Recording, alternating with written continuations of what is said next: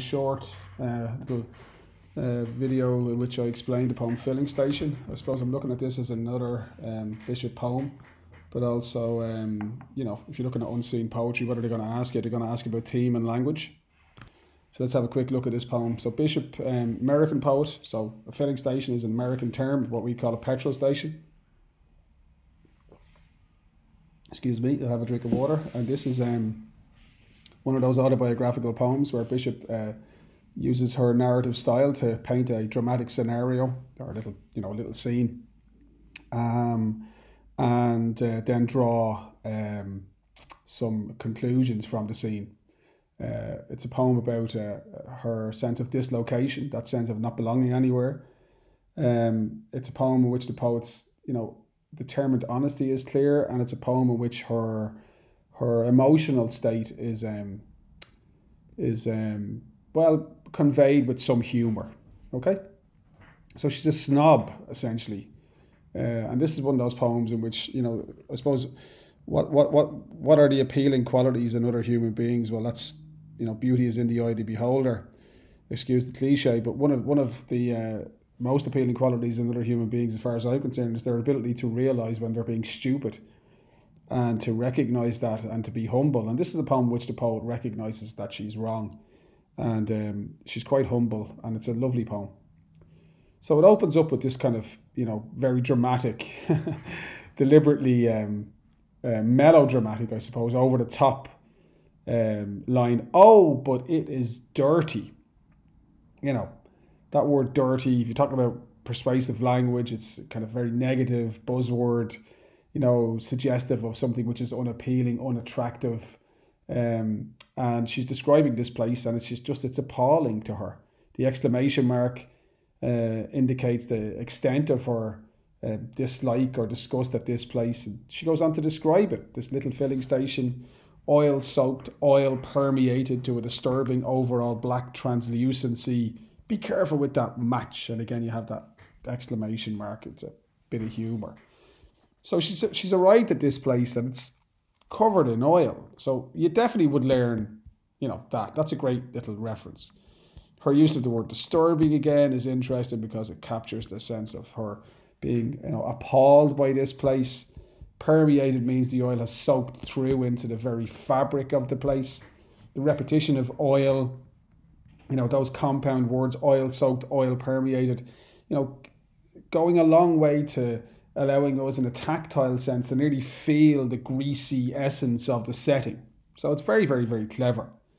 Everything is almost shiny. The tr- black translucency is a reference to you know that that kind of um, shiny uh, uh, um, texture of, of of oil and things that are covered with oil.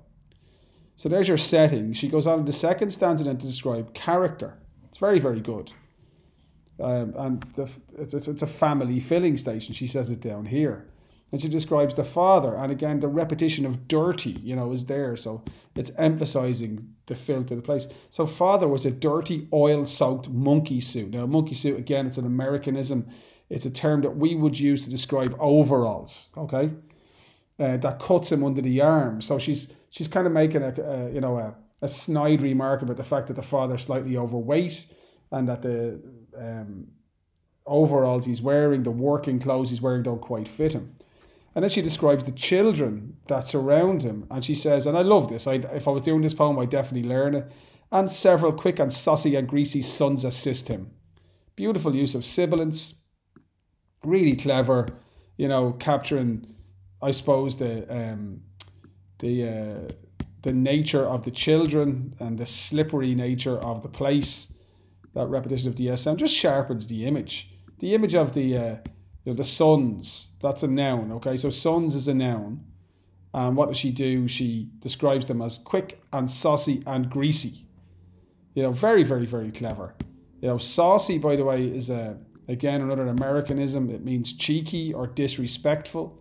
So she fears that these children are kind of feral or running wild. And again, it just goes to emphasize how um, uncomfortable she feels in this place, and she, which she describes as being all quite thoroughly dirty. So her contempt for the place, her her dislike of the place, her sense that this these people are somehow beneath her or that she is somehow superior to them. That's very uh, uh, clearly uh, delineated in the poem in the opening two stanzas.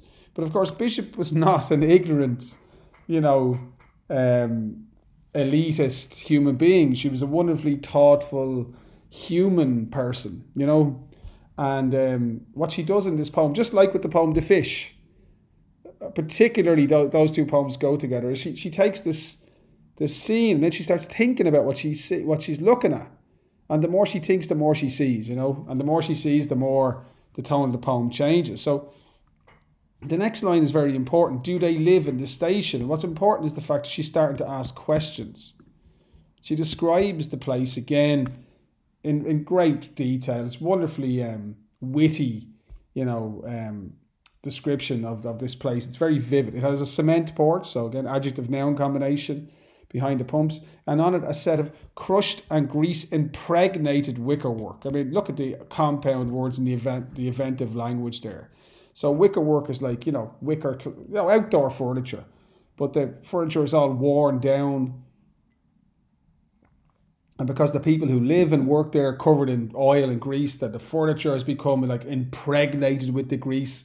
Very, very clever use of language. And she's appalled. She looks up what she see. Up on the sofa, there's a dog. And, again, the use of the word dirty, the repetition, very notable feature in the poem of the dog. And it's sitting up there and it's quite comfy. And that's that's that's the first that use of that word comfy is striking because they, you know Everything else has been kind of unpleasant and horrible, and you know, uh, uh, oil soaked, oil permeated, grease impregnated, you know, quick and saucy and greasy sons, the dirty dog. But then you have this word comfy, you know, and, and even using that term instead of the word comfortable, you know, suggests that the dog is where? Well, where, where are we comfy? Well, we're comfy when we're at home.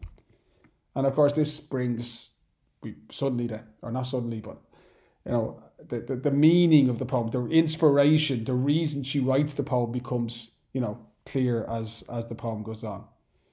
She looks further, again, detail, detail, detail, up on the porch, and there's some comic books there, so they belong to the children, obviously. Um, provide the only note of colour, again, that's the American spelling of the word colour. Of certain colour, again, she, you know, she, she pays attention to detail because the comics have been obviously touched by these people with their filthy, dirty hands, so the colour is faded. And then she notices that on the table, there's a, a piece of um, embroidery. So a doily, see that word doily? And that's a very important symbol in the poem, the doily. The, a doily is like a piece of, um, of um, embroidery, it's like a tablecloth. A taboret is a small table. Um, you know, like those kind of Russian tables where just, there's a small one and a bigger one and a bigger one, they all slide in underneath each other. And there's a begonia, and a begonia is a house plant. So what she's noticing here are signs of domesticity. So the comfy dog, the doily that someone had to, you know, create because it's a piece of embroidery, the begonia which somebody puts there to make the place look prettier, which she thinks is hilarious because how could this place look pretty? And it's these little indicators of domesticity that, that kind of really draw her in.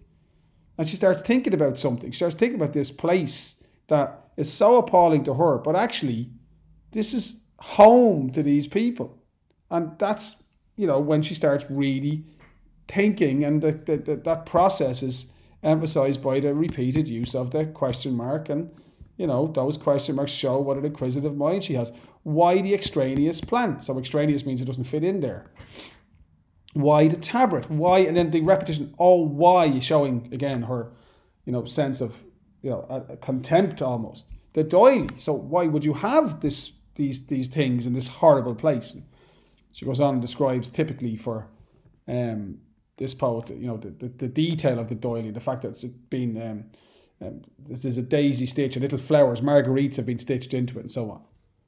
And then we get to her moment of epiphany, E P I P H A N Y, and it's a wonderful you know, you, you, you could read this poem and kind of misconstrue it and just think she's a snob and she's, you know, you know, mocking these people. But then you read a bit more closely, just get in a little bit more under the skin of the poem, and and, and you realise that, like, she's saying, God, how wrong can you be? Because she starts realising that somebody embroidered that doily, somebody waters the plant, then her little joke, or oils it maybe, ha ha, very funny, Elizabeth. Somebody arranges the rows of cans so that they softly say "so, so, so, so." this the idea that the cans have been you know, stacked one behind the other in a kind of um, decorative fashion. And she realizes that the reason that the person embroidered the doily is because they want to make the place look nicer because it's their home, because they love the place and they belong there.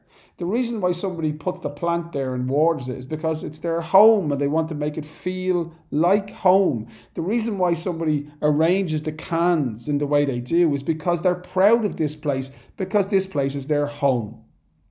And it's at that moment that Bishop realizes that she was wrong to have contempt for this place because the people who live in this dirty place are luckier than she is. She is the high strung automobile. High strung means snobby or elitist or, um, um, you know, somebody who is um, judgmental. And she realizes that she that these people are so much better off than she is because they have a place that they're proud of. They have a place where they belong. It might not be the type of place where she could ever feel comfortable. It certainly is not the type of place that she could ever call home, but it is a place that they call home. And that gives her hope. And that's why the poem ends with, you know, that amazing final line, which, you know, anybody who's ever read this poem knows. Somebody loves us all. This this moment of insight, this moment of understanding, this moment of epiphany in which he realizes, you know what, I'm on this journey through life, and I haven't yet found somewhere to call home because of what happened when I was a child and my sense of dislocation. But my goodness me, if people can find a home in a place like this and feel that they belong in this place and feel so proud that they will try and make it look pretty, even though it's a, such an unpleasantly industrial scene, well, there must be somewhere that I can call home. And you get a sense of her getting into her car with a renewed sense of optimism, a renewed sense of a renewed sense of determination, and a, and a renewed ability to to face the journey um, uh, ahead of her in her life. That search for home. It's a lovely, lovely poem, full of symbolism, introspective. Uh, it's it's it's narrative. It's uh, beautifully uh, uh, detailed, has that typical moment of epiphany, has a sense of humour. You get a real sense of the person uh, that Elizabeth Bishop was from reading that poem. And she certainly was somebody who uh, didn't waste her life.